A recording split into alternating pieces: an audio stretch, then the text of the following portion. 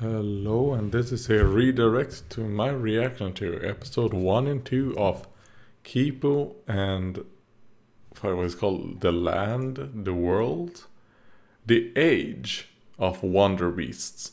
Episode 1 and 2. Link is in the description to the BitChute. And um I don't know what to say that I didn't say at the end of the reaction. I don't think I have much more to input right here. I mean, I, enjoy Kipo and the pig so far. I'd say they're pretty good. I do feel a bit sad for Wolf. I kind of wish Wolf, but I'm pretty sure Wolf later on will actually mention this kind of like uh, when Kipo said like, "Oh, I did not know people could be so mean to each other," blah blah blah, and if I was Wolf, I'd be like, you stupid fucking bitch.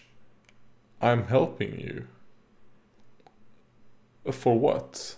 Listen, I kept you from dying. Without me, you would have been dead by now. You know? And yeah. So.